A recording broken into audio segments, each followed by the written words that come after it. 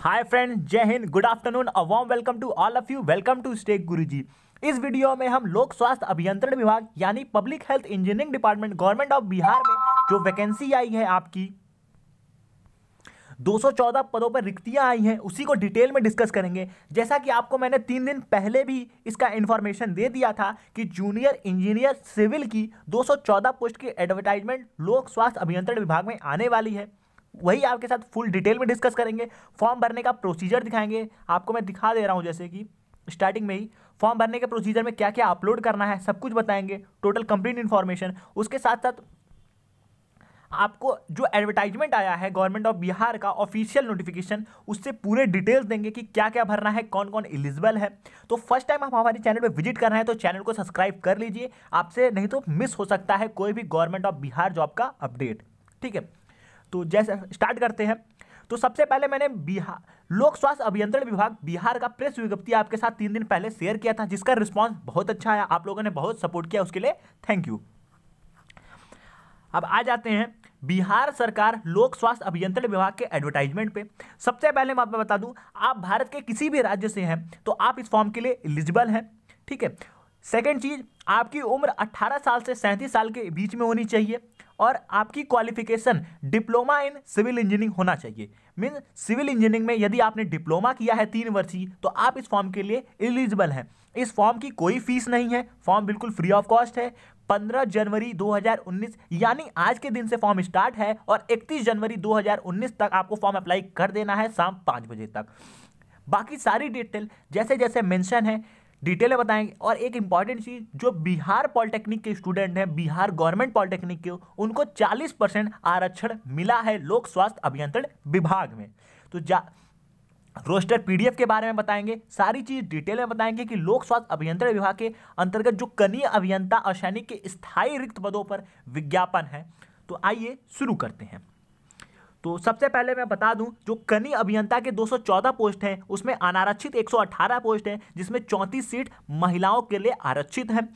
अत्यंत पिछड़ा वर्ग और पिछड़ा वर्ग में 41 सीट और सैंतालीस सीट, जिसमें 12 प्लस 8 सीट महिलाओं के लिए है। ठीक है? उसके बाद अब बिहार के सरकारी पॉलिटेक्निक संस्थाओं की बात कर लेते हैं, जिसमें कि असैनिक डिप्लोमाधारी उम्मीदवारों को 40 प्रतिशत कोटिवार आरक्षण मिलेगा, जिसमें कुल सीटों की संख्या पचासी है, अनारक्षित सैंतालीस है, पिछड़ा वर्ग, अत्यंत पिछड़ा वर्ग का सोलह और पिछड़ा वर्ग के उन्नीस। तो ये महिलाओं को इसमें सीट आरक्षण मिला है। जो हमारे भाई, दिव्यांग भाइयों हैं, उनको भी आरक्षण मिला हुआ है। पद की संख्या दृष्टि दिव्यांग में दो मीन्स आप जो भी कैटेगरी है आपको इसका सर्टिफिकेट भी लगाना है। ठीक है? और एक इंपॉर्टेंट चीज़ जो हाँ ठीक। जो राज्य सरकार के स्वतंत्रता सेनानी के पोता पोती ना, नाती नतनी उनको भी आरक्षण मिलेगा ठीक है? कुल पाँच रिक्तियाँ बनती है इनकी। इनके लिए इनका सर्टिफिकेट लगेगा। ठीक है? यही चीज़ आपसे शेयर करना था। रोस्टर में ये चीज़ मेंशन है। कि जो राज्य सरकार के स्वतंत्रता सेनानी हैं, उनके पोता पोती नाती नतनी को पाँच सीटों पर आरक्षण मिला है। ठीक है, कुल पाँच रिक्तियाँ बनती हैं इनकी, रोस्टर पीडीएफ में लिखा था। तो जैसे कि मैंने बताया था कि भारत सरकार का नागरिक हो शैक्षिक योग्यता में डिप्लोमा इन सिविल इंजीनियरिंग हो, और एक इंपॉर्टेंट चीज़ जिसमें इस बार ऐड हो गया है कि यूजीसी एक्ट के प्रावधानों के अंतर्गत स्थानीय डीम्ड यूनिवर्सिटी द्वारा नॉन डिस्टेंस मोड में असैनिक अभियंत्रण में प्रधान डिप्लोमा बसरते की उक्त डिम्ड यूनिवर्सिटी को असैनिक अभियंत्रण में डिप्लोमा पाठ्यक्रम करने के लिए विश्वविद्यालय अनुदान आयोग की स्वीकृति प्राप्त हो। यदि वो डिम्ड यूनिवर्सिटी जो यूजीसी के अंतर्गत आती है यूजीसी की वेबसाइट पे ये जेनविन दिखा रही है, है कि ये यूनिवर्सिटी लीगल है तो आपका वो डिम्ड यूनिवर्सिटी वैल्यूएबल है। तो आप अप्लाई कर सकते हैं।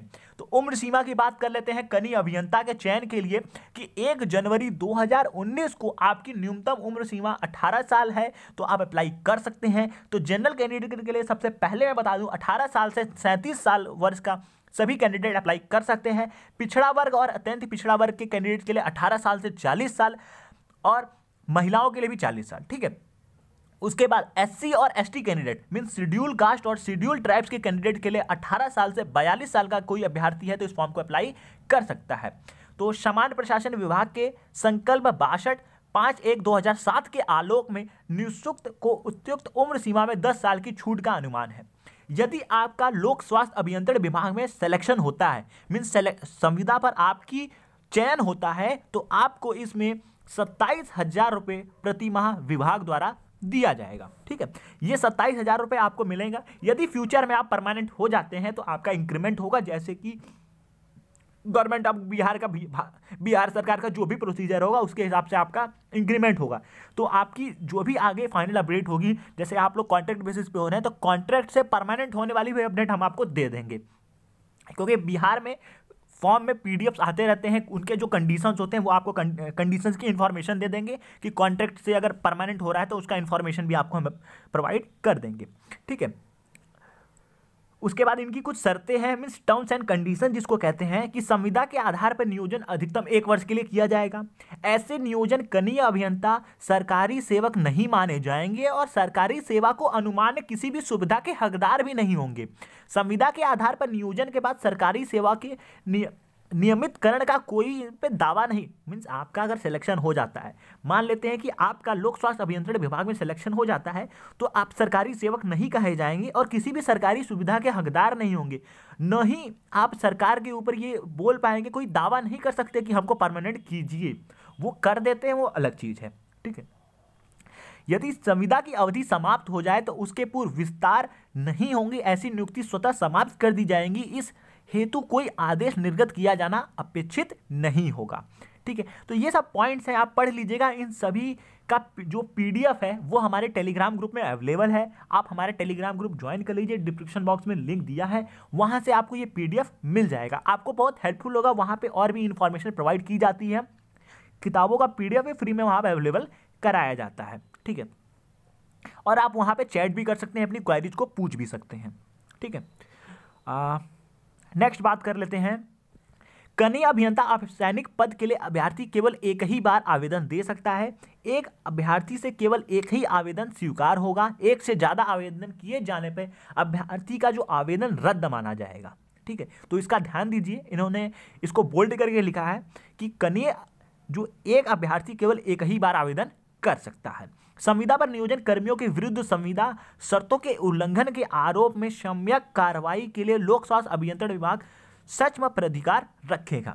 और जो आपका सिलेक्शन प्रोसीजर होगा मीन्स आपने लोक स्वास्थ्य अभियंत्रण विभाग का फॉर्म भरा तो आपको अब फॉर्म तो आपने अप्लाई कर दिया सिलेक्शन कैसे होगा? तो सिलेक्शन आपका मेगा सूची के आधार पे होगा। मींस ये वैकेंसी में कोई एग्ज़ाम नहीं होगा, ये मेरिट बेस वैकेंसी है। जैसा कि आपको पता भी होगा, बिहार में नब्बे प्रतिशत वैकेंसी मेरिट बेस ही करा देते हैं संविदा वाली। ठीक है? तो कनीय अभियंता असैनिक स्लैश यांत्रिकी की भर्ती के संबंध में अधिसूचना, बिहार लोक स्वास्थ्य अभियंत्रण विभाग, अवर अभियंता। तो इसमें आपकी जो डिप्लोमा में जितने मार्क्स पाए हैं, उसके पचहत्तर प्रतिशत अंक आपको इसमें जोड़े जाएँगे। ठीक है? इट मीन्स जो भी आपके मार्क्स हैं, उसको ज़ीरो पॉइंट सेवन फाइव से मार्क्स मल्टीप्लाई कीजिए। मान लेते हैं कि आपका बिहार में पचहत्तर परसेंट अंक है या अस्सी परसेंट अंक है। अस्सी परसेंट अंक है आपका बिहार में तो या फिर कहीं भी, किसी भी राज्य से है तो उस अस्सी को आप ज़ीरो पॉइंट सेवन फाइव से मल्टीप्लाई कर दीजिए। ठीक है? तो उसको ज़ीरो पॉइंट सेवन फाइव से मल्टीप्लाई कर देंगे, वो आपकी आ जाएगी ग्रेड पॉइंट मीन्स इस फॉर्म भरने के लिए। ठीक है? वो ग्रेड पॉइंट इक्विवेलेंट परसेंटेज का फॉर्मूला हो गया। ठीक है? और बाकी जो पच्चीस, क्योंकि पचहत्तर प्लस पच्चीस दो टर्म्स में है, ठीक है? तो बाकी जो पच्चीस है, वो आपको यदि आपने बिहार सरकार के अधीन उपक्रम निगम निकाय प्राधिकार और स्वशासी निकाय में संविदा के आधार पर कनीय अभियंता असैनिक के पद पर कार्य करने का अनुभव रखते हैं ठीक है? तो आपको कार्य करने का अनुभव रखते हैं तो आपको प्रति वर्ष पाँच अंक दिए जाएँगे, जिसमें जो अधिकतम सीमा होगी, पच्चीस अंक होंगे। जैसे किसी वर्ष के अंश में गणना किए, जैसे आपने डेढ़ साल काम किया है तो तीन सौ पैंसठ से गणना कर देंगे उसको, डिवाइड करके, और उसको आपको नंबर दे देंगे। जैसे डेढ़ साल किया है तो साढ़े सात मार्क्स दे दिए। पाँच साल आपने किया है तो आपको पच्चीस में पच्चीस मिल जाएँगे। इस हेतु पॉइंट की गणना है। मीन्स अनुभव प्राप्त वर्षों की संख्या इंटू पाँच। अरे एक इंपॉर्टेंट नोट भी है जो आपके साथ मैं शेयर करना चाहूँगा अभ्यर्थियों को निर्देश दिया जाता है कि कोई भी फर्जी जाली प्रमाण पत्र के आधार पर उक्त आवेदन नहीं भरेगा। अन्यथा किसी भी स्तर पर प्रमाण पत्र फर्जी पाए जाने पर उसकी अभ्यर्थता रद्द की जाएगी और उसके विरुद्ध कानूनी कार्रवाई की जाएगी। जैसा कि आपको पिछले बार जो फॉर्म फिल कराया गया था, पंचायती राज विभाग में, उसमें बहुत सी इनको प्रॉब्लम फेस करनी पड़ी, इसलिए उन्होंने इस बार ये पॉइंट भी मेंशन कर दी है। तो ये आवेदन का फॉर्म आज से ही स्टार्ट है, पंद्रह एक दो हज़ार उन्नीस, इकतीस एक दो हज़ार उन्नीस। तो इसको ज़्यादा से ज़्यादा अपने व्हाट्सएप ग्रुप में शेयर कीजिए फ्रेंड्स ठीक है? और इसको जो विज्ञापन का दिया है, सतीश चंद्र मिश्रा, जो कि अभियंता प्रमुख विशेष सचिव हैं, ठीक है? तो अब आपसे बात कर लेते हैं, ऑफिशियल वेबसाइट पे आ जाते हैं, ठीक है? तो सबसे पहले आपको ऑनलाइन एप्लीकेशन फिल करना है। ऑनलाइन एप्लीकेशन जब आप फिल कर देंगे तो एडिट पर्सनल डिटेल आएगा प्रिंट आउट आएगा और अपलोड डॉक्यूमेंट्स तो अपलोड डॉक्यूमेंट्स में बता दूँ क्या क्या आपके पास होना चाहिए। तो सबसे पहले जैसे जैसे रजिस्ट्रेशन करते जाएँगे, आपका टिक लगता जाएगा बेसिक रजिस्ट्रेशन करेंगे। इसमें टिक लग जा एप्लीकेशन फॉर्म भरेंगे पर्सनल डिटेल अगर फिल कर देंगे, इसमें टिक हो जाएगा।